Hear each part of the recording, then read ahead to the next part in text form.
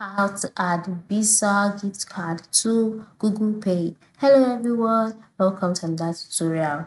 In this video, you would learn how you can add Visa gift card to your Google Pay. First of all, launch the Google Pay application on your mobile device. Then move to the bottom right corner and click on the add to wallet icon. Then you'll be brought to the page where you can see the different things that can be added, which includes the payment card, transport pass, loyalty card, gift card, so just click on gift card and then you'll be taken to the page where you'll be asked to um, search out the gift card by the shelves, by the restaurant. So you can just type out Visa gift card.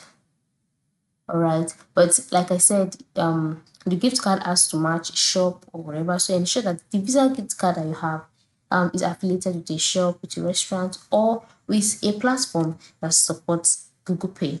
And so once you have it, you search for it, click on the one that um, you belong to. So I'll be using one of these as an example, and then you'll be directed to the next page where you'll be asked to enter in the card number, the PIN, the balance, your note. Click on add to wallet, and that way the Visa gift card will be added to your Google Pay account. So that is it everyone. Thank you for watching and have a good day.